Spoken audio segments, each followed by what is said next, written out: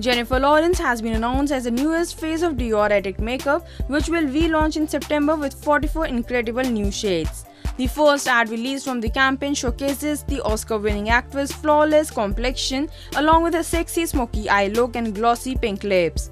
The Hunger Games star, who was named the brand ambassador for Dior in 2012, has extended her contract with Dior for another three years that netted her a whooping amount of $15 million.